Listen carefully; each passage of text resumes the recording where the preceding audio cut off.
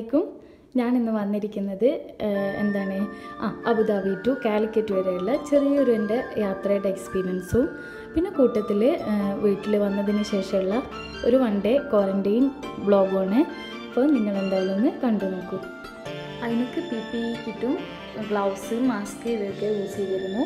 ഞാൻ P P E kit ഇട്ടിട്ടില്ലായിരുന്നു.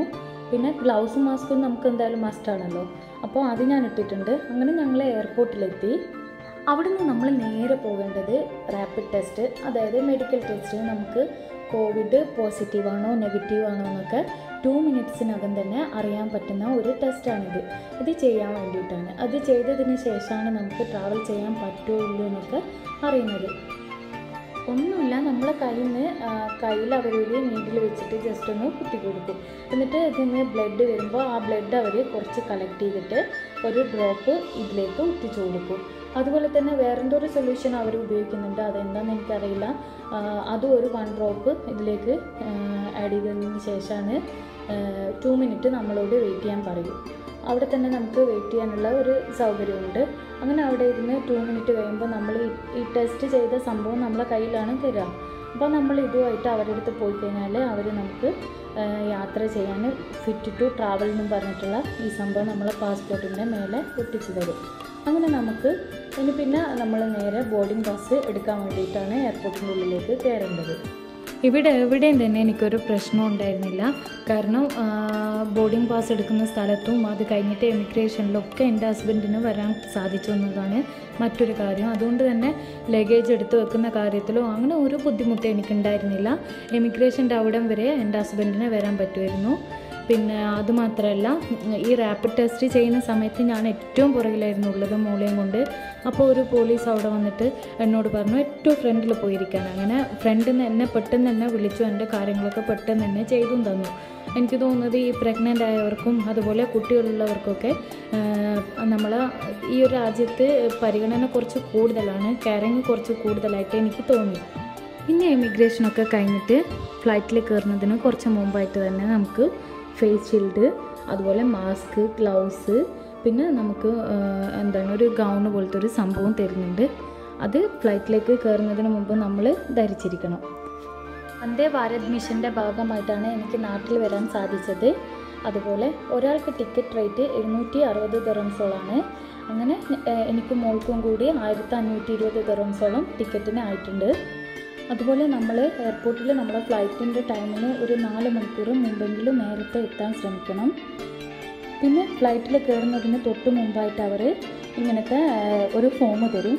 ഒന്നല്ല ഒരാൾക്ക് രണ്ട് വിധ ഫോമാണ് വേണ്ടത്. അങ്ങനെ ടോട്ടൽ ഞാൻ ഞാനും മകളും ഉള്ളത് കാരണം ഞങ്ങൾക്ക് നാല് ഫോം വേണ്ടി വന്നിരുന്നു. പക്ഷേ എനിക്ക് ഫ്ലൈറ്റ് കയറുന്ന സമയത്ത് അവർ തന്നത് രണ്ട് ഫോമായിരുന്നു അപ്പോൾ ഞാൻ ആ രണ്ട് ഫോമും ഫ്ലൈറ്റിൽ നിന്ന് തന്നെ ഫില്ല് ചെയ്ത് വെച്ചിരുന്നു. ഈ ഫോമിൽ മെയിനായിട്ട് ചോദിക്കുന്നത് റേഷൻ കാർഡ് നമ്പർ നമ്മളെ വീട് നമ്പർ അതുപോലെ ഫ്ലാറ്റ് നമ്പർ സീറ്റ് നമ്പർ അങ്ങനെ കണ്ട കുറച്ച് കാര്യങ്ങളൊക്കെയാണ് ചോദിക്കുന്നത്. പിന്നെ നമ്മളെ തഹസിലെ നമ്മളെ താലൂക്ക് ഏതാണോ അങ്ങനെ കണ്ട കാര്യങ്ങളൊക്കെയാണ് ചോദിക്കുന്നത്. അപ്പോൾ റേഷൻ കാർഡ് നമ്പറും വീട് വീടിന്റെ നമ്പറും മെയിനായിട്ട് നമ്മൾ നോട്ട് ചെയ്ത് വെക്കണം. അങ്ങനെ കുഴപ്പങ്ങളൊന്നും കൂടാതെ ഞങ്ങൾ നാട്ടിലെ എയർപോർട്ടിലെത്തി അവിടെ കാലിക്കറ്റ് എയർപോർട്ടിൽ എനിക്ക് കുറച്ച് എന്താണ് മോശമായിട്ടുള്ള അനുഭവങ്ങൾ ഉണ്ടായിട്ടുണ്ട്. കുറച്ച് ലേഡീസ് സ്റ്റാഫിൽ നിന്ന്. അപ്പോൾ അതൊന്നും നമ്മളിപ്പോൾ ഞാനിപ്പോൾ ഈ വീഡിയോയിൽ എടുത്ത് പറയുന്നില്ല എന്തായാലും. എയർപോർട്ടിൽ എത്തിയതിന് ശേഷം ഞാനൊരു പോർട്ടറെ വിളിക്കുകയാണ് ചെയ്തത്. അങ്ങനെ അയാൾ വന്നിട്ട് എന്റെ ലഗേജുകളൊക്കെ ഞാൻ ആംബുലൻസിലാണ് വന്നത്. അപ്പോൾ ആംബുലൻസിലേക്ക് എടുത്തു വെച്ച് തന്നു. അപ്പോൾ ഞാൻ അയാൾക്ക് എന്റെ ഒരു സന്തോഷത്തിന് വേണ്ടിയിട്ട് ഞാനൊരു മോശമല്ലാത്തൊരു പൈസ കൊടുക്കുകയും ചെയ്തു. എന്റെ ജീവിതത്തിൽ ആദ്യമായിട്ട് ഞാൻ അങ്ങനെ ഗൾഫിൽ നിന്ന് വന്നിട്ട് ആംബുലൻസിൽ കയറിയിട്ട് എന്റെ ജനിച്ച നാട്ടിലേക്കൊരു യാത്ര ചെയ്യാനും പറ്റി. നമ്മൾ ഏറെ നാളത്തെ ഇടവേളയ്ക്ക് ശേഷം നേരിട്ട് കാണുമ്പോൾ ഉമ്മാനെയും ബാപ്പാനെയൊക്കെ പ്രത്യേകിച്ചും നമ്മൾ കണ്ടു കഴിഞ്ഞാൽ കെട്ടിപ്പിടിച്ചൊരു കിസ്സൊക്കെ കൊടുത്ത് അങ്ങനെയൊക്കെയാണല്ലോ ചെയ്യുക. പക്ഷേ ഇതൊന്നും ഉണ്ടായില്ല. നേരെ മുകളിലേക്കാണ് ഞാൻ പോയത്. എന്നിട്ട് ഡ്രസ്സും ഒക്കെ കഴുകി വൃത്തിയാക്കി വെച്ചതിന് ശേഷം ഞാൻ ഭക്ഷണങ്ങളൊക്കെ കഴിച്ചു. ഭക്ഷണമൊക്കെ കഴിച്ചു. നല്ല വിശപ്പുണ്ടായിരുന്നു. കാരണം ഫ്ലൈറ്റൊന്നും മര്യാദയ്ക്കൊന്നും കഴിക്കാൻ പറ്റിയില്ല എന്ന് തന്നെ പറയാം. ഞങ്ങൾ കുറച്ച് ഫുഡൊക്കെ കൊണ്ടുപോയിരുന്നു. പക്ഷെ ഒന്നും എനിക്ക് കഴിക്കാൻ പറ്റിയില്ല. ടെൻഷൻ കാരണം. പിന്നെ ആംബുലൻസിൽ നിന്ന് കഴിക്കാമെന്ന് കരുതി ഉമ്മ കുറച്ച് പാർസലൊക്കെ അയച്ചിരുന്നു. പക്ഷെ അതും എനിക്ക് കഴിക്കാൻ പറ്റിയില്ല. അപ്പോൾ വീട്ടിൽ വന്നപ്പോൾ ഞാൻ ഒന്നും നോക്കാതെ നല്ലോണം ഭക്ഷണം കഴിച്ച് കിടന്നങ്ങ് ഉറങ്ങി. അങ്ങനെ ഞങ്ങൾ രാവിലെ എണീറ്റു. അപ്പോഴും ക്വാറന്റൈൻ എന്താണെന്നുള്ള ഒരു ഐഡിയ ഞങ്ങൾക്ക് ഇല്ലായിരുന്നു. എന്ന് വെച്ച് കഴിഞ്ഞാൽ നമ്മൾ അനുഭവത്തിലൂടെയാണല്ലോ ഓരോ കാര്യങ്ങൾ അറിയുന്നത്. അപ്പോൾ നമുക്കിത് കേട്ടറിവ് മാത്രമല്ലേ ഉള്ളൂ. അപ്പോൾ നമ്മളെ ലൈഫിൽ ആദ്യമായിട്ടാണല്ലോ ഇങ്ങനെ ഒരു അനുഭവം നേരിട്ട് വരുന്നത്. അപ്പോൾ ഒരു ഐഡിയ എന്റെ ബാപ്പാക്കും ഉമ്മാക്കും ആയിക്കോട്ടെ എനിക്കായിക്കോട്ടെ ഇല്ലായിരുന്നു. ഫുഡ് എങ്ങനെയാണ് തരിക എന്നൊക്കെ ഉള്ള ഒരു കൺഫ്യൂഷനൊക്കെ ഉണ്ടായിരുന്നു. പക്ഷേ എന്തായാലും മോശമില്ലാത്ത രീതിയിൽ അങ്ങോട്ടും ഇങ്ങോട്ടും സമ്പർക്കമൊന്നും ഇല്ലാതെ തന്നെ ഞങ്ങൾക്ക് എല്ലാം കൈകാര്യം ചെയ്യാൻ ഇതുവരെ ആയെന്നാണ് എന്റെ ഒരു തോന്നൽ അപ്പോൾ നിങ്ങളൊന്ന് കണ്ടു നോക്കൂ. ബാപ്പ ഫുഡ് കൊണ്ടുതരുന്ന സമയത്ത് തന്നെ കയ്യിൽ ഗ്ലൗസും മാസ്കും ഒക്കെ വെച്ചിട്ടാണ് വരിക. മാത്രമല്ല ഞങ്ങൾക്കായിട്ട് വേറെ തന്നെ ഒരു ട്രേയും അവർക്ക് ഫുഡ് കൊണ്ടുവരാനായിട്ട് ഒരു ട്രേ ഒക്കെ ആയിരുന്നു ഉപയോഗിച്ചിരുന്നത്. പിന്നെ മാക്സിമം അവർ ഡിസ്പോസിബിളിലാണ് എനിക്ക് തന്നുകൊണ്ടിരുന്നത് പിന്നെ ഞങ്ങൾക്കായിട്ട് ഒരു പ്ലേറ്റ് മോൾക്കൊരു പ്ലേറ്റ് ഗ്ലാസ് അങ്ങനെ കണ്ട കുറച്ച് സാധനങ്ങളൊക്കെ റൂമിൽ തന്നെ സെറ്റാക്കി വെച്ചിരുന്നു. അതുകൊണ്ട് പിന്നെ എന്റെ പാത്രങ്ങളൊക്കെ എനിക്ക് ഞാൻ ഉപയോഗിക്കുന്ന പാത്രങ്ങളൊക്കെ ഞാൻ തന്നെ കഴുകുക അവരെ കൊണ്ട് മാക്സിമം കഴുകിക്കാതിരിക്കുക എന്നൊക്കെയുള്ള ഒരു ഇതിലാണ് അങ്ങനെ മുമ്പോട്ട് പോയത്. പിന്നെ ഞാൻ നിങ്ങളോട് ഒരു കാര്യം പറയാൻ വിട്ടിരുന്നു. ഞാനിപ്പോൾ ഫോർ മന്ത് പ്രഗ്നന്റ് ആണ് അലഹമില്ല അപ്പോൾ എന്താണ് എനിക്ക് ചിലർക്കൊക്കെ പ്രഗ്നൻസിയിൽ ഉണ്ടാകുന്ന ഷുഗറിന്റെ ഒരു പ്രോബ്ലം എനിക്കും വന്നിട്ടുണ്ട്. അപ്പം മാക്സിമം ഡോക്ടർ എന്നോട് പറഞ്ഞിട്ടുണ്ട് അരി ആഹാരവും ഷുഗറും അങ്ങനെ അല്ലാതെ ഒഴിവാക്കിയിട്ട് ഷുഗർ കൺട്രോൾ ചെയ്ത് കൊണ്ടുവരാനായിട്ട് പറ്റുകയാണെങ്കിൽ നമുക്ക് അങ്ങോട്ട് എത്തിക്കഴിഞ്ഞാൽ ഇൻസുലിനൊന്നും ഇല്ലാതെ തന്നെ ഷുഗർ ലെവൽ കൺട്രോൾ ചെയ്ത് കഴിഞ്ഞാൽ അതാണ് നല്ലതെന്ന് ഡോക്ടർ പറഞ്ഞിരുന്നു. അപ്പോൾ എന്താണ് ഞാനിപ്പോൾ അരി ആഹാരവും അങ്ങനത്തൊക്കെ ഉപേക്ഷിച്ചിട്ടാണുള്ളത്. അതുകൊണ്ട് എനിക്ക് ഗോതമ്പ് നുറുക്കിന്റെ ഉപ്മാവും അതിനോട് ദോശയൊക്കെ ആയിരുന്നു ആക്കിയത്. പക്ഷേ അവൾക്ക് എന്താണ് ഈ ഉപ്മാവ് കണ്ടപ്പോൾ അത് മതിയെന്ന് വാശി പിടിച്ചിട്ട് പിന്നെ അത് കഴിച്ചു. അപ്പോൾ ഞാൻ എന്ത് ചെയ്തതെന്ന് വെച്ചാൽ ഈ ഫുഡ് ബാക്കി വന്ന ഫുഡ് ഞാൻ വേറൊരു പ്ലേറ്റ് എടുത്തിട്ട് അവിടെ തന്നെ തൽക്കാലം അടച്ചു വെച്ചു. പിന്നെ ആവശ്യം വരുമ്പോൾ വീണ്ടും പാപ്പാനെ വിളിച്ച് കയറ്റണ്ടല്ലോ എന്ന് കരുതിയിട്ട് ഞാൻ അങ്ങനെ ചെയ്തു. ആദ്യത്തെ ദിവസമായതുകൊണ്ട് തന്നെ എനിക്ക് വേസ്റ്റ് എങ്ങനെയാണ് കളയേണ്ടത് എന്നുള്ള ശരിയായ ഒരു ധാരണ ഉണ്ടായിരുന്നില്ല. അങ്ങനെ ഞാൻ ഒരു കവർ എടുത്തിട്ട് അപ്പം തന്നെ കഴിച്ച് ബാക്കി വന്ന വേസ്റ്റൊക്കെ അതിലേക്ക് ഇട്ടിട്ട് ഞാനത് പുറത്തെടുത്ത് കളയാണ് ചെയ്തത്. പക്ഷേ പിന്നീട് എനിക്ക് മനസ്സിലായി ഇത് നമുക്ക് കവറ് കുറച്ച് റിസ്ക് ആണല്ലോ ഇവിടെ കിട്ടാനായിട്ട്. അപ്പോൾ രാവിലെ മുതൽ രാത്രി വരെ കഴിച്ച ഫുഡിന്റെ വേസ്റ്റൊക്കെ ഒന്നിച്ചിട്ടിട്ട് കളയാണ് പിന്നീട് ചെയ്തത്.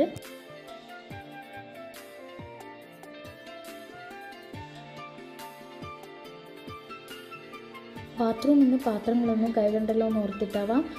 ബാക്കിലത്തെ ടെറസിൽ എനിക്ക് ഒരു പൈപ്പ് ടൈപ്പൊക്കെ ഫിറ്റ് ചെയ്ത് വെച്ചിരുന്നു ഇവർ അന്ന് പിന്നെ എന്താണ് പഴയ ബക്കറ്റും പെയിന്റിന്റെ ഒക്കെ ബക്കറ്റും ഒരു ചെയറൊക്കെ എടുത്തിട്ട് ഇട്ടിട്ട് അവിടെ ഒരു ജസ്റ്റ് ഒന്ന് കഴുകാൻ വേണ്ടിയിട്ടുള്ള ഒരു സെറ്റപ്പ് ചെയ്ത് വെച്ചു. അതുകൊണ്ട് പാത്രങ്ങളൊക്കെ എനിക്ക് ഇവിടെ വെച്ചിട്ട് കഴുകാം.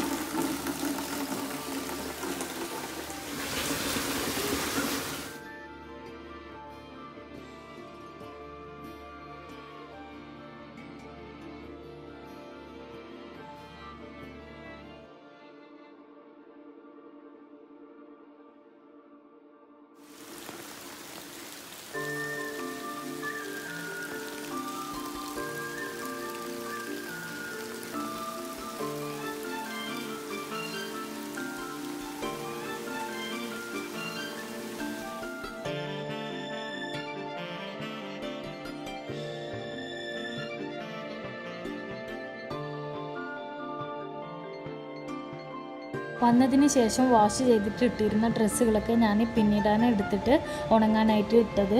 അതുപോലെ തന്നെ കാലിലിട്ടിരുന്ന ചെരുപ്പും എല്ലാം തന്നെ അങ്ങനെ തന്നെ കഴുകി വൃത്തിയാക്കിയിട്ട് ഉണങ്ങാനായിട്ട് വെച്ചു.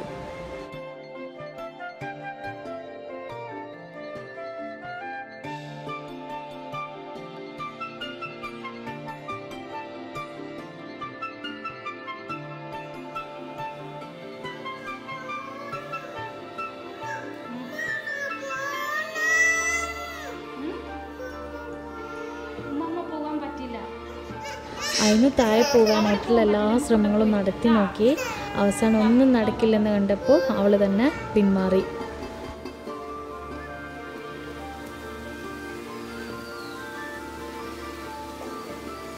ഇരുണ്ട് കൂടിയ കാർമേഘ ഇങ്ങനെ മഴയായിട്ട് പെയ്തിറങ്ങുന്നത് പോലെ ഈ ലോകത്തിൽ നിന്ന് കൊറോണ വൈറസ് ഇതുപോലെ എന്താണ് പാടേ മാഞ്ഞു പോകാൻ വേണ്ടി ഞാൻ ഒരു നിമിഷം ആഗ്രഹിച്ചു പോവുകയാണ്.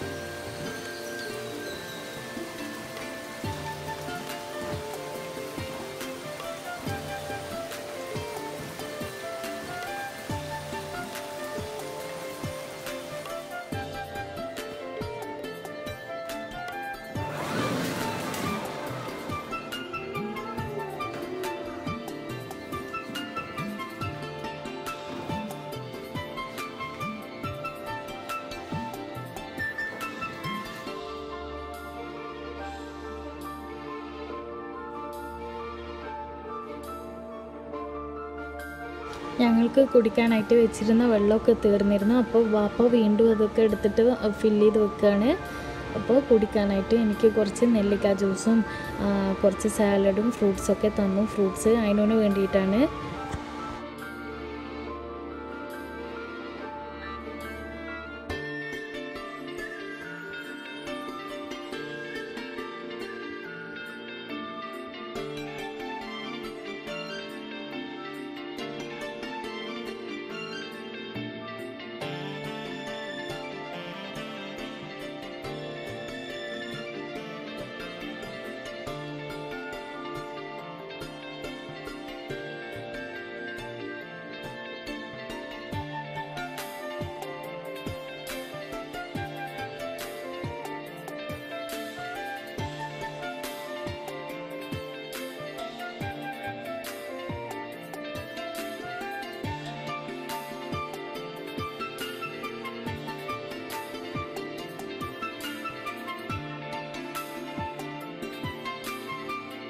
ഇതൊക്കെ കഴിച്ച് കുളിയും നിസ്കാരവും അങ്ങനെ എല്ലാം കഴിഞ്ഞതിന് ശേഷമാണ് പിന്നെ ഉച്ചക്കത്തെ ലഞ്ച് കഴിച്ചത്.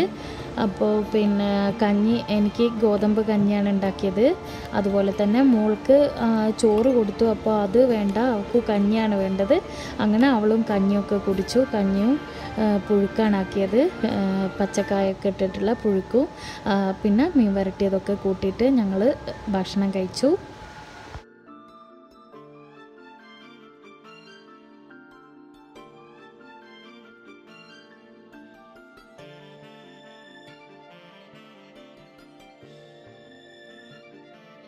കൊണ്ടുവന്ന ലഗേജുകളൊക്കെ ഈ റൂമിലായിരുന്നു വെച്ചത്. അപ്പോൾ അങ്ങനെ ഞാൻ അത്യാവശ്യം വേണ്ട സാധനങ്ങളൊക്കെ എടുത്തിട്ട് ഓരോന്നായിട്ട് ഞാൻ കിടക്കുന്ന റൂമിലേക്ക് മാറ്റി വെച്ചു.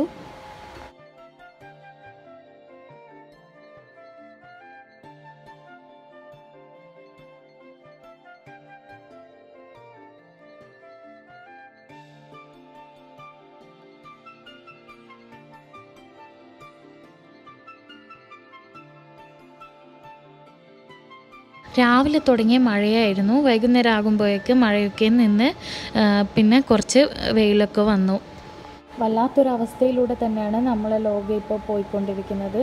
അപ്പോൾ എനിക്ക് നാട്ടിൽ വരുന്ന പ്രവാസികളോട് പറയാനുള്ളത് നമ്മൾ മെന്റലി പ്രിപ്പയർഡ് ആയിട്ട് വേണം നാട്ടിലേക്ക് വരാൻ.